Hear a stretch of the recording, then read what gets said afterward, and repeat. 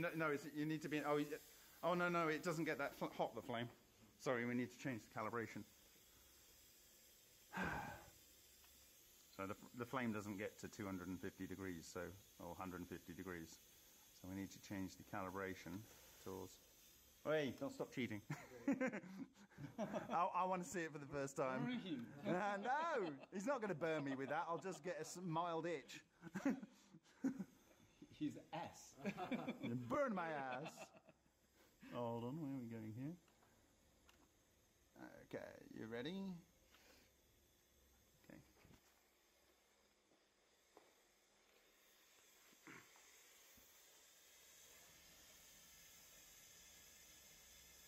This is a moment of truth for me. Ah, scary, scary. Okay, please. It, it's going to move. uh, go on then, go on. Okay. Go on, yeah, yeah. Okay, it melted that. Oh no, it hasn't. it just made it go soft.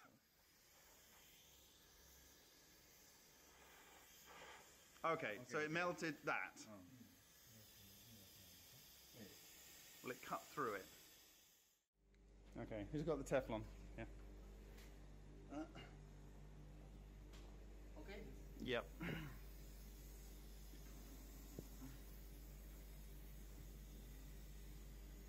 I will put it on. Oh no, I need to keep it in shot, don't I? I'll put it on the ground there so you can push against it. Right. Don't burn my hand!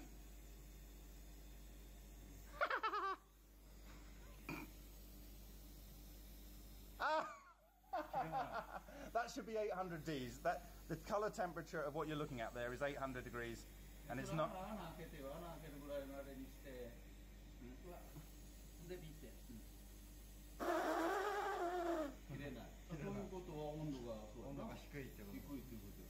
Oh! oh! Well, that's interesting. That's that, that's carbon exploding. Oh no, he's cut a hole out of it. What? oh my god. We just we just made titanium vaporized by having a bit of carbon in the mix. So the Evos are capturing the carbon that are just just about coming off here, and they are doing some sort of fusion, and that caused that to explode. Uh, That's my my first guess. This is absolutely astounding. it can't cut through this. Yes, that and and it and, look, look, it's cut through that titanium, and it cut through after it touched this, but it didn't cut this. the temperature is not exceeding the the melting point of this.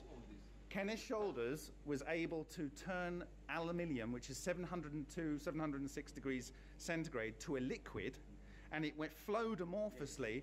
But he could, the same thing couldn't melt paraffin wax, which is 30 something degree, or uh, 38 degrees, or not much higher, than, or around the body temperature. What you've just done is proved Kenny Shoulders right. But the most fascinating thing was there's no hole in here, and whilst we're trying to melt through this, something happened at this point to give it a bit, in my opinion, a little bit of carbon out of this, and, and it caused an explosion that cut through the uh, titanium. Now, I didn't expect that to see that today, and if I was if I was tempted to swear, this is the point at which I'd do it because that is friggin' amazing.